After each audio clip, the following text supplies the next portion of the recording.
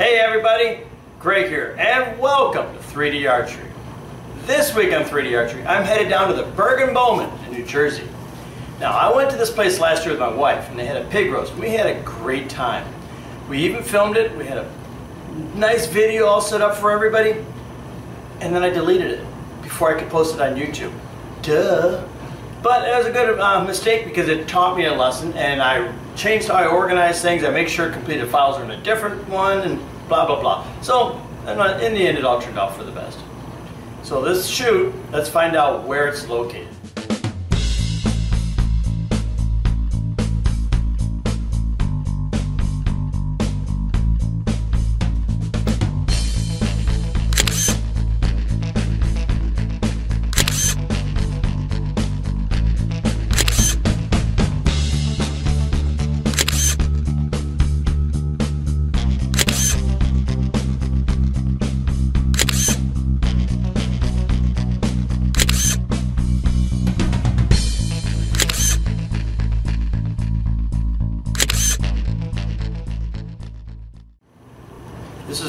Easy to find.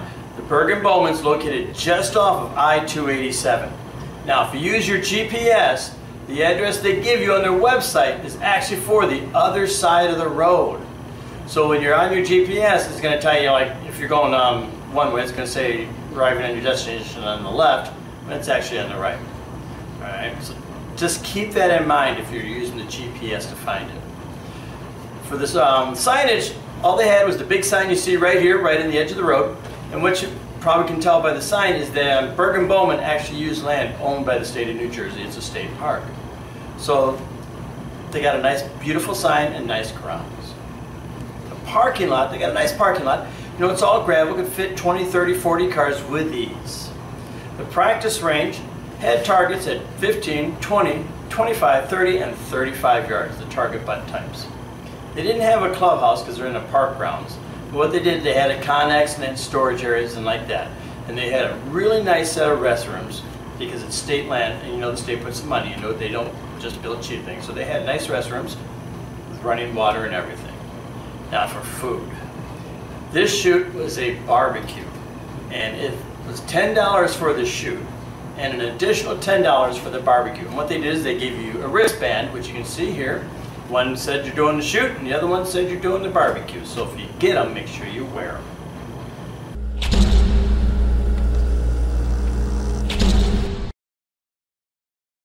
All right, everybody, let's go to the map, and I'll show you the course.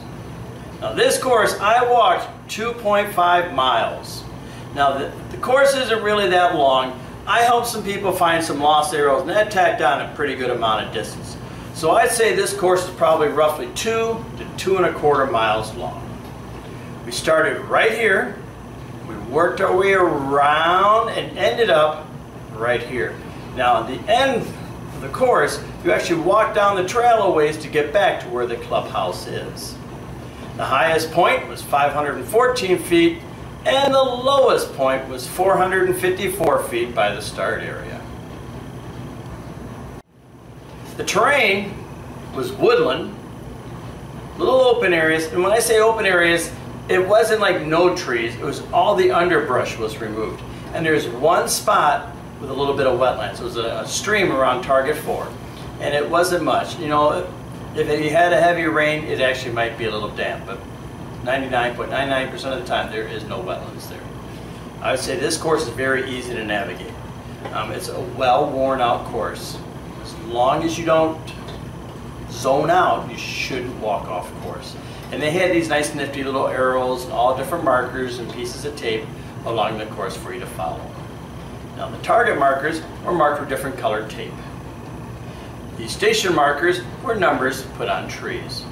Now on this course they didn't have any water stations, but that's okay. For me this day, it was nice weather.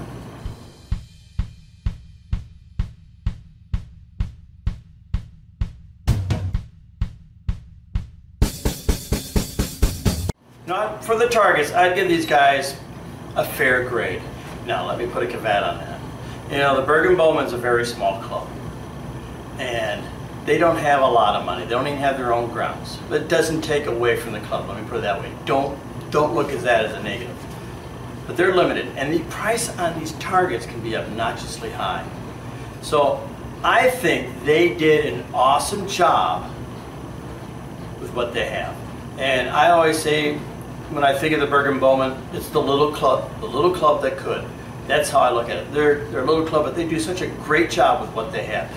I've seen big, big clubs that don't put on an event as well as these guys. So the targets themselves, what do they have? Well, there is nine small targets. There's three turkeys and six javelinas. It's 16 medium targets, eight deer, four boars, two wolves, a bear, and a mountain lion. And they had three large targets, a ram, the mountain goat, and an elk. And they were all in pretty darn good shape. You know, none of them was falling apart. They didn't have to use great foam or anything to repair them. They were in a nice state of uh, preservation. I don't know. They're just in nice shape.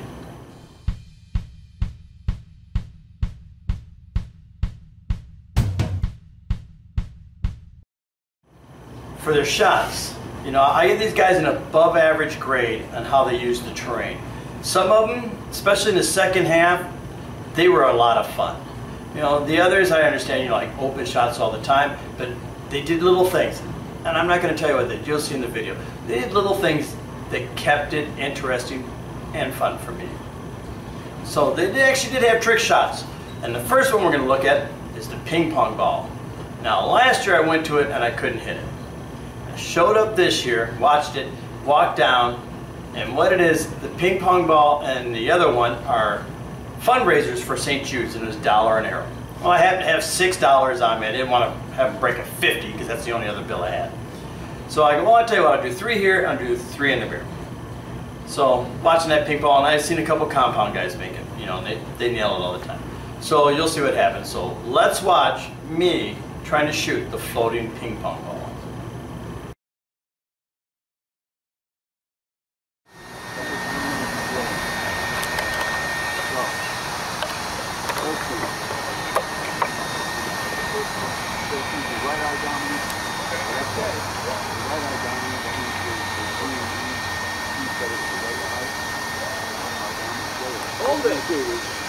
Yeah, hold it.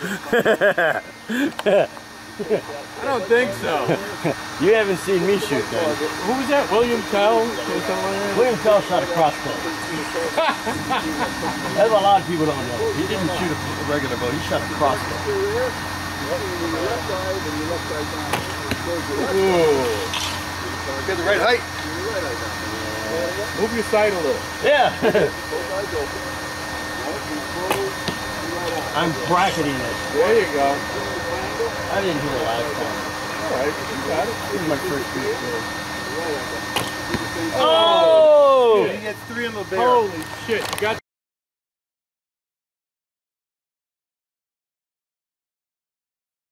that Trust me. means you jerk. It stands their number. Uh,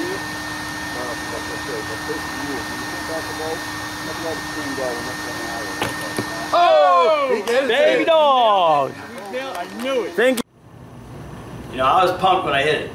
I'm glad I got it because you know the last time it sort of you know just you know just got into it. The second one was their Bigfoot. Bigfoot's out there I think 38 or 40 yards, and we'll take a look at me trying to shoot Bigfoot in the little, little tiny little sticker they had on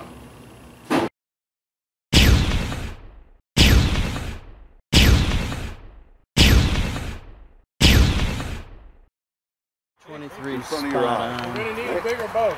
Right in front of your eye. So when you're looking at the boat, the wow. The that thing dropped like you wouldn't believe. Okay. I got him.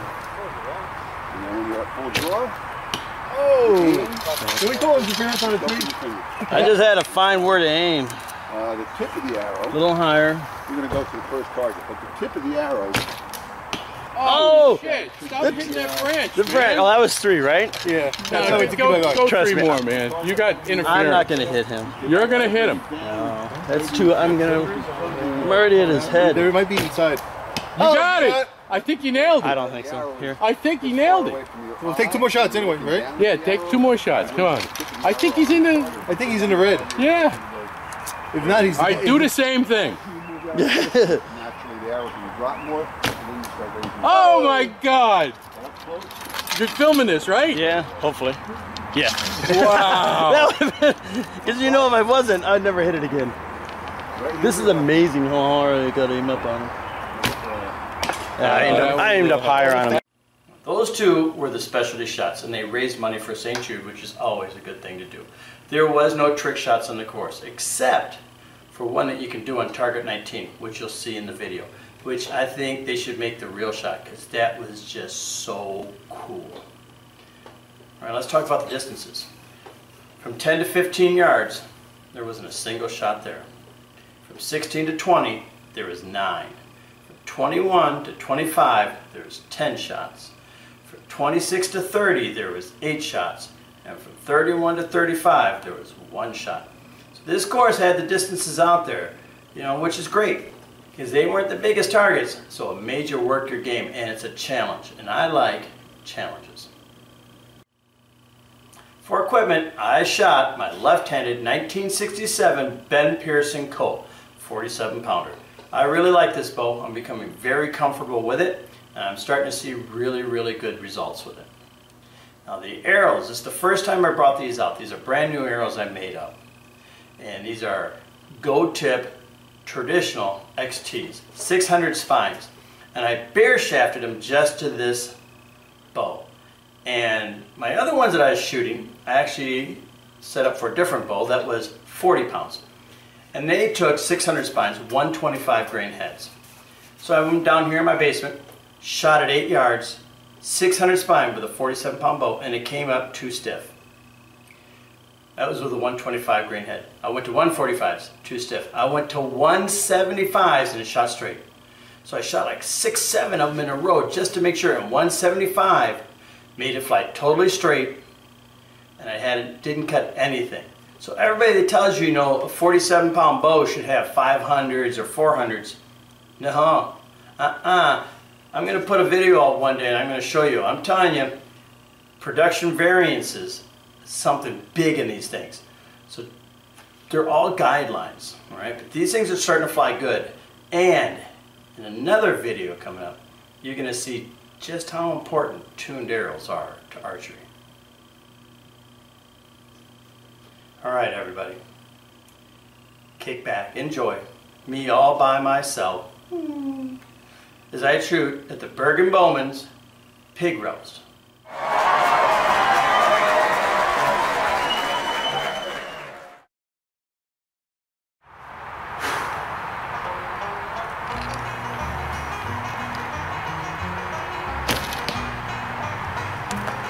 Best way to start the day, that ain't bad. All right, here I am, just finished, nailed the ping pong ball, got the bear, so it's doing pretty good. People here are beyond friendly. It's a great little course, it's real simple to follow. Target one, get my arrow, let's move on to two. Target two, turkey. Why do I hate turkeys? Because I usually don't hit the damn things. That's probably why. I never really like to eat them, unless they got a really good gravy. All right, here we go. See? Went low. Here I'm at target three. Woohoo! Making big progress. Um, I can't find any station markers, you know, show me where to shoot from, which is not a bad thing, I don't mind that. This is great, because, you know, you shoot from where you feel comfortable. If you bring a laser rangefinder, you're going to find out the range that you feel comfortable at. And that's what you should dial your point on in. So, I'll try it from here. This feels pretty good. Let's see how we do.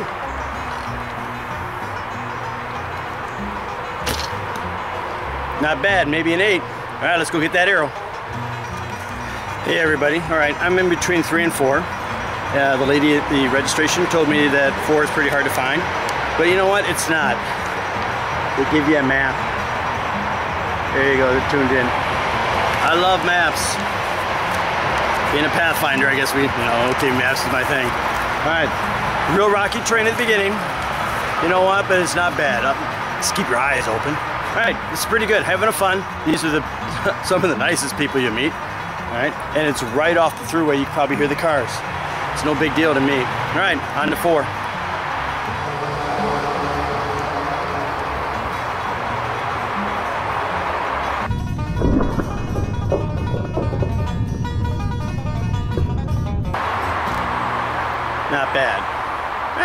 Go take a look.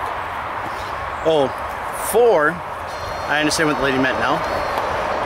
The target marker is back there about 20 yards. Go past it, you're gonna cross over the little creek and it's up around the bend. So it's not that it's not marked, it's just away from the target marker. All right, on to five. All right, target five, and I found my uh, shooting station markers. How did I find it? I've seen them before, but I just didn't know what they were for. But if you're halfway intelligent and you read your scorecard, traditional, pink, pink ribbon, oops. but that's right, because that's pretty much where I was shooting from. Actually, I shot farther than I was supposed to on two of them.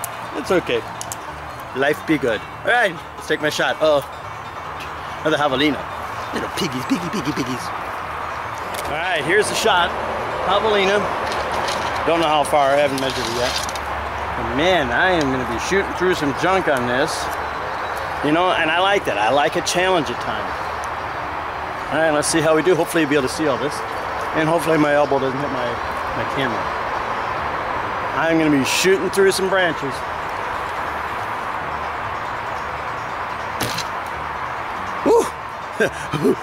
Barely got him. Branches right my damn way. Uh, tree, little branch leading over? it's perfectly in the flight of my arrow. So what does that mean? I'm gonna punch it through or reflect it, deflect it off. Because I ain't too smart. Here we go.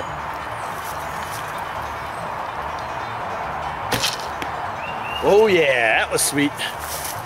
He was right in front of me, and I go, okay, I'll just follow him to four. And then I ran into you guys. Nice.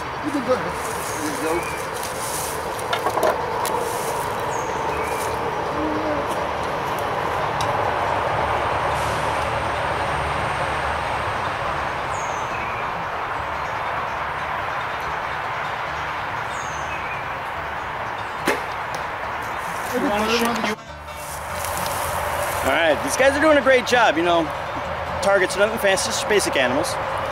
But there's no way to shoot this standing up, which means kneeling or sitting. Something I do not practice. And the penalty for me is I shoot a 62 inch bow. I'm gonna have to cant it heavy. And if I had my 68 inch, I'd be in real trouble. All right. This should be interesting.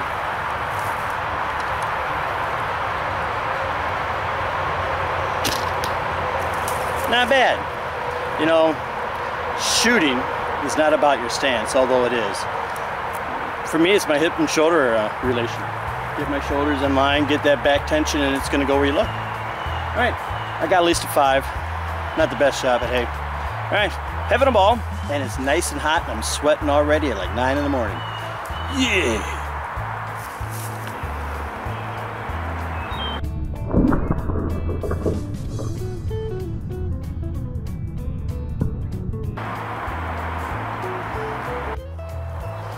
Can see the target right behind me.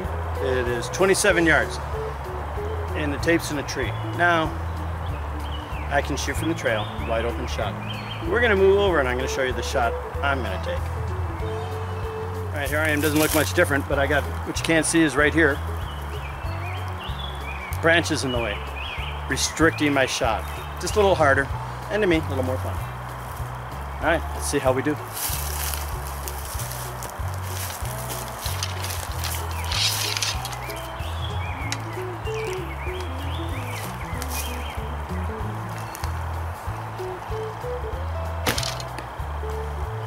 Points right off the bat. That's what you like to see. I want to show you this deer. Uh, group people in front of me, so I had plenty of time. Sorry guys for shooting deer so much, but um, thing. Three different aim points. First one. All right, two eights. Then I shifted my aim point over and down. Got here. And then three here and one off. Now, this one, that big. This one, same size. This group, same size. So if you're out there and you're struggling, you can do this too. This one here is the only one off, but you know what? One out of eight, I'll take that any day. Nice ones, but each one is a separate aiming point. means I'm actually learning what I'm doing. All right, on to the next one. I'll end up going over. I'll end up going over. Oh, went low.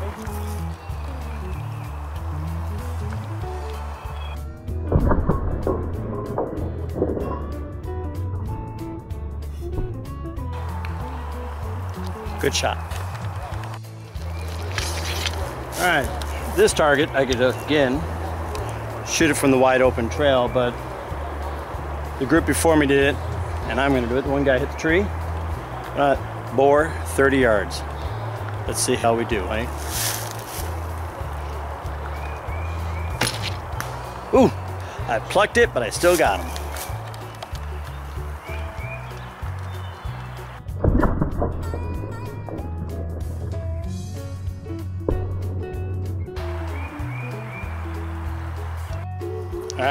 One's pretty cool.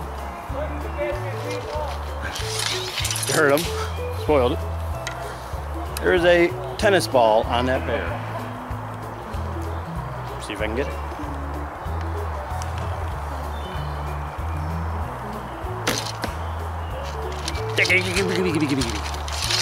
But those guys just left, so I got them.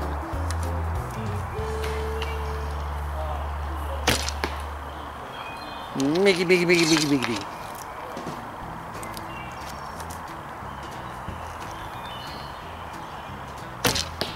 Not even close. Bad, bad shot.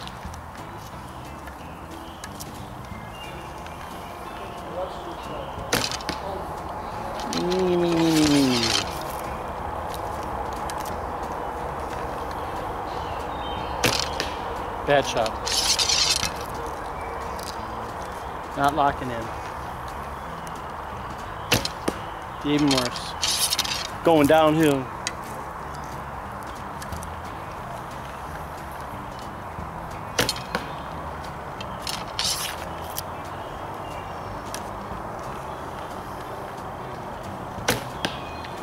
Damn. But let's see how we show you how I did.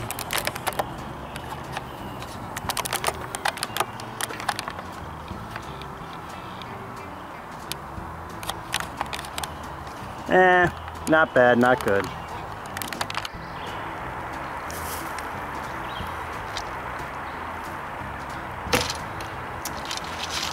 Holy shit. Mile low.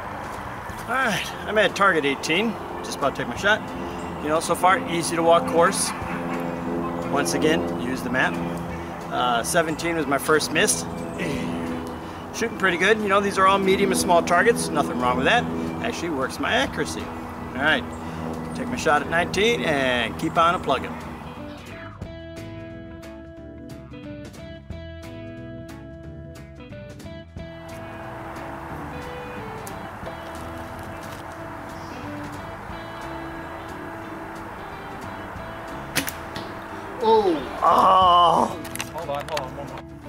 Sitting down.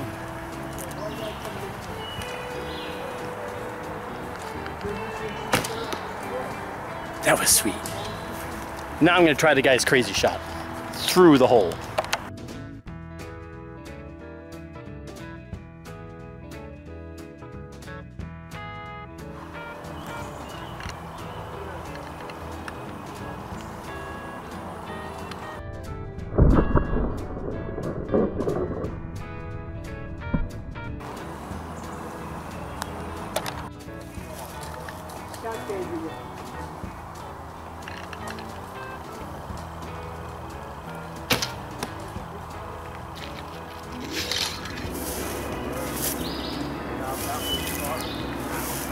Right, target 22. I'll show you the X.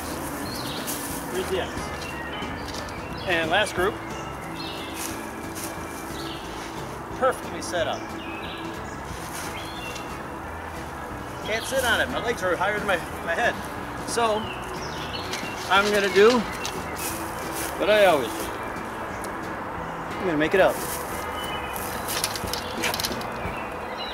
Shoot from a rock. How's that?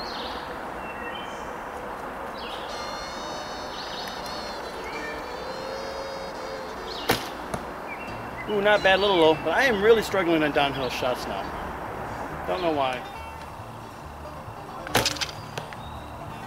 Much better. There you go. You got perks. Yeah, I I thought you were trying to knock down a plane the way you were aiming.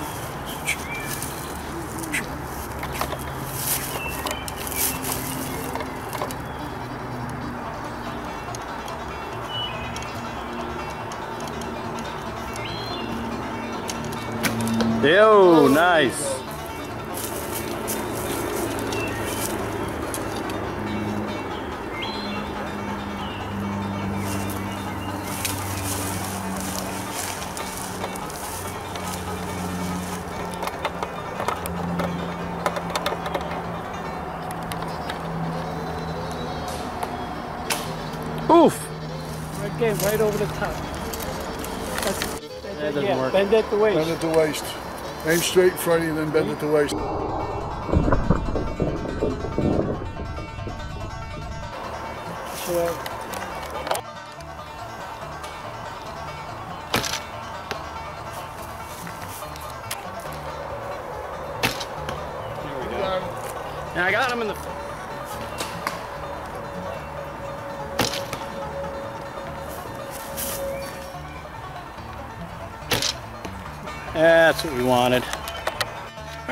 Done shooting. It's only a 28 target course, and I was told the reason for that is it's based off their field archery course, which is 28 targets.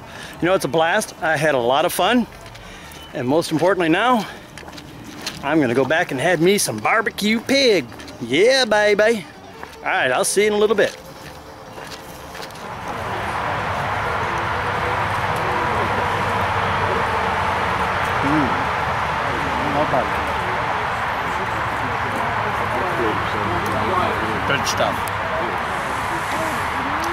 Good